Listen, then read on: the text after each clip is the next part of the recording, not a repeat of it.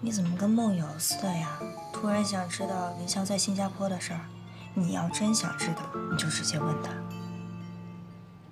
我觉得我哥的心里有点问题。你是不是入睡比较困难，时睡时醒，还多梦？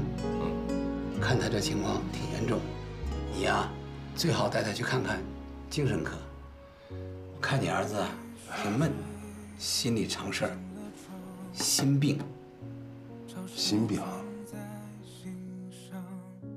那你在新加坡除了照顾陈婷阿姨和妹妹，还有上学，你都做什么？想你，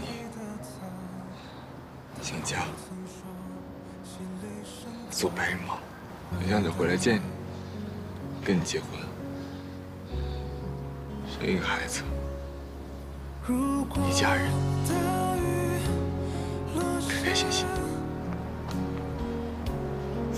哥，你怎么了？你是不是病了？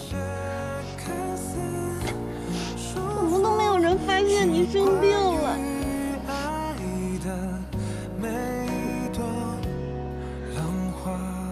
我真爱的人，我远远的看过他一眼，他在远方，还在光芒的中央，那么耀眼，那么完整。